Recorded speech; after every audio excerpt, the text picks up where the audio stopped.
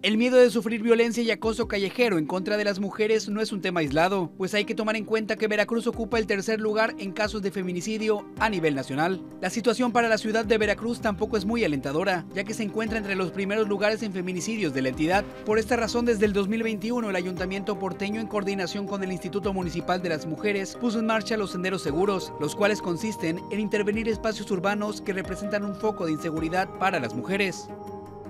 Permite erradicar todos aquellos factores exógenos que favorecen la comisión de delitos y conductas en contra de las mujeres y las niñas, dando como resultado que una vez rehabilitado puedan transitar libres y seguras.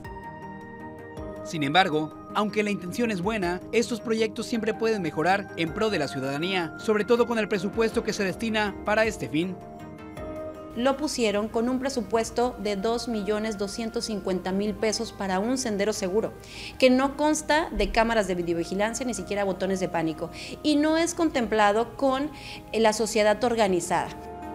Y aunque una iluminación adecuada o una videocámara no inhibe la agresión a una mujer, lo cierto es que este equipamiento es el primer paso para generar esa confianza al caminar. De la vigilancia, eh, de la cámara, creo que eso nos permite poder evidenciar Creo que en todo acto de violencia, en todo acto donde vamos a poner en algún punto una demanda que esperemos nadie tenga que llegar a ese punto, es necesario evidencia. Al final usted tiene la última palabra. Lo cierto es que en la lucha de la erradicación de la violencia en contra de las mujeres, ningún esfuerzo está de más para que ellas no solo caminen seguras por un sendero, sino por toda la ciudad. Para Mega Noticias, Julio Ramón.